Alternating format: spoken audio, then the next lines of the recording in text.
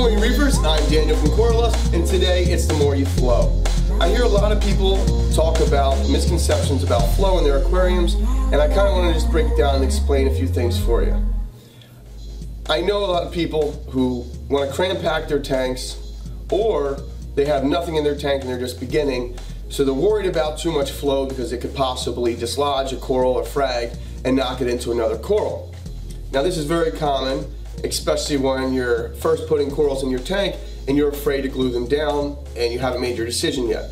So you'll just set them in there overnight only to find when you wake up in the morning that your chalice is knocked over on top of your Duncan and then they burned a hole through each other and now you just lost um, an investment or hopefully it'll grow back if you're lucky enough um, to have that happen.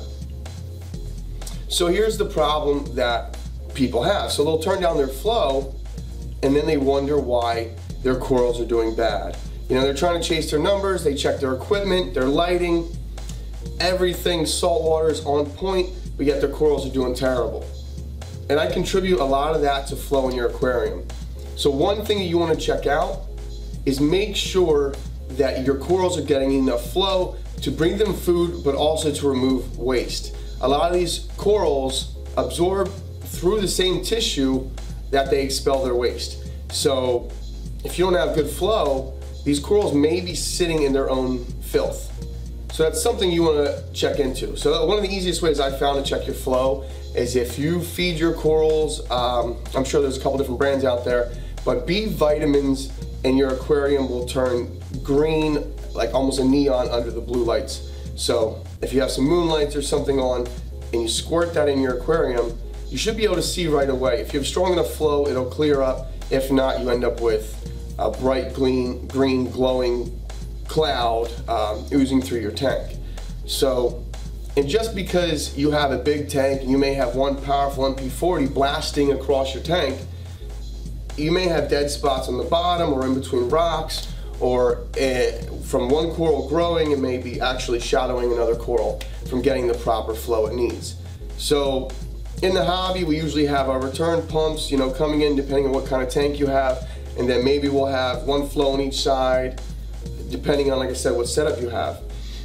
Now it's not so much is how many pumps you have is can this pump either push strong enough to force the water to bounce off the rocks and around your tank, or is it getting diffused and not actually the pressure hitting uh, the back of your tank or something.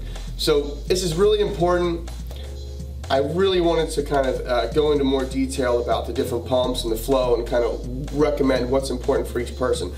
But there's just so many options, so many variables that there's no real definitive rules. It's kind of like you have to look at each tank and kind of use your judgment and go from there. But even front to back, a lot of people have deep tanks and they may only have current in the front or in the back and you just, you know, unless you have a lot of fish moving around crabs, you may inadvertently suffocate some corals in the back of your tank or in high or low spots. So check your flow.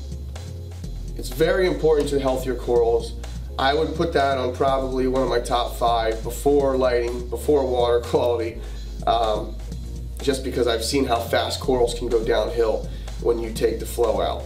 So even in a big tank, I thought you know leaving leaving the pumps off for a few hours or something wouldn't be that that much of an issue, but it is. So take care of your tanks, enjoy your aquariums, and as always, Thanks for watching and happy reefing.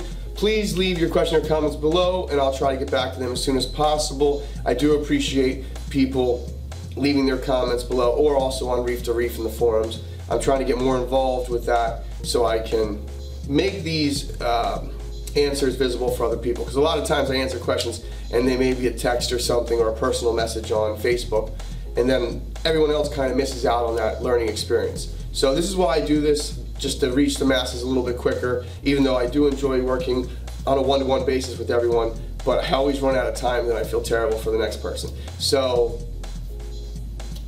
keep sharing, keep learning, the more you know. Thank you for being part of our online reading community, next time.